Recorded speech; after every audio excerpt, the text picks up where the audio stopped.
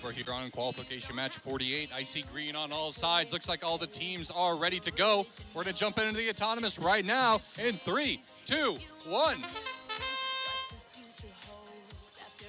Gold Rush immediately pushes one, two, almost three in, but they aren't done yet. There's still seven seconds left. They're going to grab another one and line up, and they're able to get another one scored and almost one other.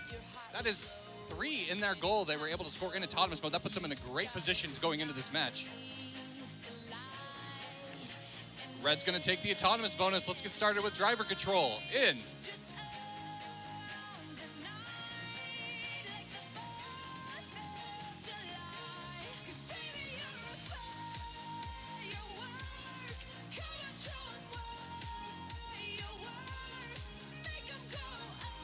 Three, two, one. Let's get started. Blue starts by launching two of their match loads in, pushing a huge pile across, but red is there to stop them. They're preventing them from getting those into their goal. Looks like three of them end up in the corner, which means they'll be worth nothing unless they're able to get them out. Gold Rush goes over to their match load zone and grabs two tri balls. Blue grabs one and they collide underneath the match load, sending one tri ball flying across the field. Red lets Blue get across, then they take the opportunity to get to their goal and shove one in. Blue tries to get this tri ball, but it might be stuck in their intake. They're unable to outtake it.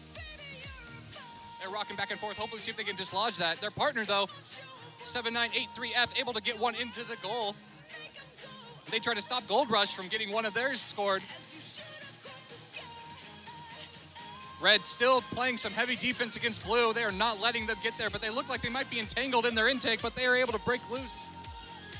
Blue backs through their elevation zone, and they're just going to grab a pile more of tri balls and try to push, push them past. But Red says no, they're going to stay right on them, preventing them from getting across this line. Meanwhile, on the other side of the field, Gold Rush able to snag two tri balls and get them scored.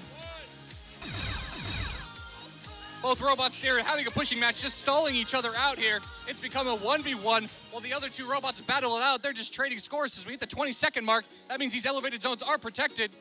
18 seconds left on the clock.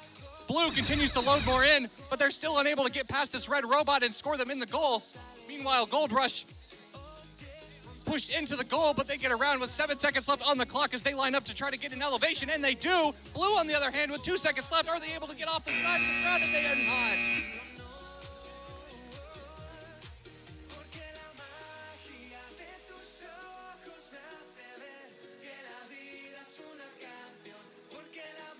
Down though, but the referees will go over and have a really good look at that.